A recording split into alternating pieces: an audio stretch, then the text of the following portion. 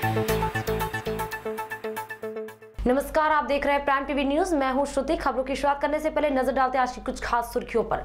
Commonwealth games में मनु ने भारत को दिलाया गोल्ड मेडल हाना को मिला सिल्वर उज्जैन में हार्दिक पटेल पर फेंकी गई स्याही। हाफिज सईद ने अमेरिका का उड़ाया मज़ाक, कहा मिल्ली मुस्लिमों पर कार्रवाई से बढ़ाया विश्वास। पीएम मोदी ने नेपाल पीएम से की मुलाकात, अब भारत से नेपाल तक दौड़ेगी रेल। कराना में खिलाड़ियों की बस ट्रक से टकराई, पंद्रह की मौत, चौदह घायल हो गए। पीएम मोदी ने की यूपी सीएम से मुलाकात। बिना इंजन के 20 किलोमीटर दौड़ी ट्रेन, बड़ा हादसा टला। लेते हैं छोटा सा ब्रेक ब्रेक के बाद हम इन्हीं सुर्खियों पर चर्चा करेंगे। तब तक बने रहिए हमारे साथ और देखते रहिए प्राइम टीवी न्यूज़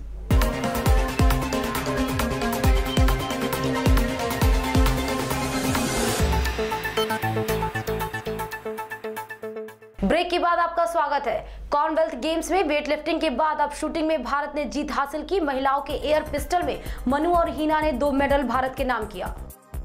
मनु ने गोल्ड मेडल और हीना सिंधु ने दूसरा सिल्वर मेडल अपने देश को दिलाया है। भारत ने छह गोल्ड दो सिल्वर एक ब्रॉन्ज के साथ कुल नौ मेडल हासिल किए हैं।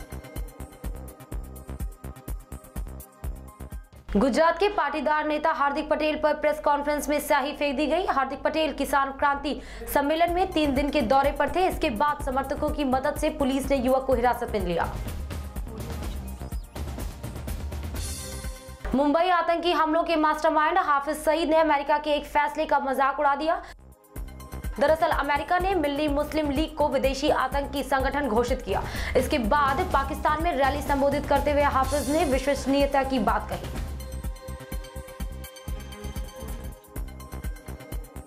तीन दिवसीय दौरे पर भारत आए नेपाल के प्रधानमंत्री ओली से वार्ता की। भारत की मदद से बिहार के रक्सौल को नेपाल की राजधानी काठमांडू को विद्युतीकृत ट्रेन से जोड़ा जाएगा। दोनों देशों के बीच संबंधों को मज़बूत करने और लोगों के बीच अच्छे संपर्क बनाने के लिए भी चर्चा की।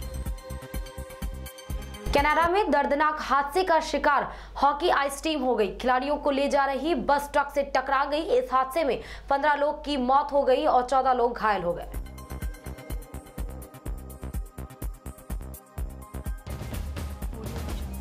पीएम मोदी ने यूपी सीएम योगी से मिलकर दलित मुद्दों पर चर्चा की। यूपी में दलित सांसदों ने योगी सरकार के खिलाफ मोर्चा खोला और मोदी को पत्र लिखकर सांसदों ने अपनी समस्या बताई।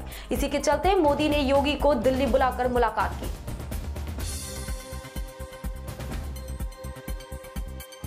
भुवनेश्वर में रेलवे की एक बड़ी लापरवाही सामने आई। अहमदाबाद पुरी एक्सप्रेस बिना इंजन के पटरी पर दौड़ पड़ी।